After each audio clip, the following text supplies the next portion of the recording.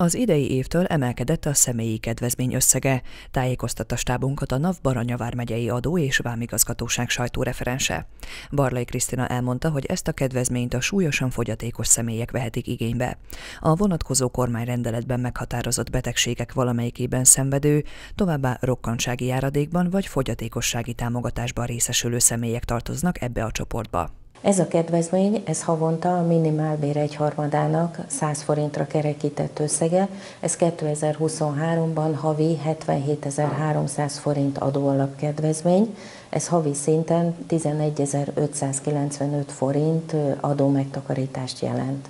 A kedvezmény a fogyatékossági állapottal érintett hónapokra vehető igénybe. Ennek kezdőnapját az állapotról kiadott orvosi igazolás tartalmazza.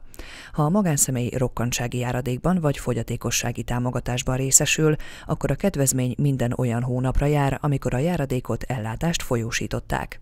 A kedvezményre való jogosultságot a súlyos fogyatékosságról szóló orvosi igazolás, vagy a járadékról, illetve a támogatásról szóló határozat alapján lehet igénybe venni.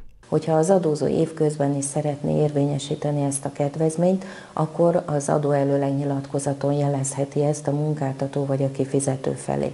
Abban az esetben, hogyha nem akarja évközben érvényesíteni a kedvezményt, akkor év végén a bevallásban egy összegben is igénybe tudja venni. Az adóelőleg nyilatkozat benyújtható az ügyfélkapun, az online nyomtatvány kitöltő alkalmazásban a navon keresztül, vagy a munkáltatónak kifizetőnek átadott hagyományos papír alapú nyilatkozaton. A kedvezményt ugyanis adóalapcsökkentő kedvezményként lehet igénybe venni.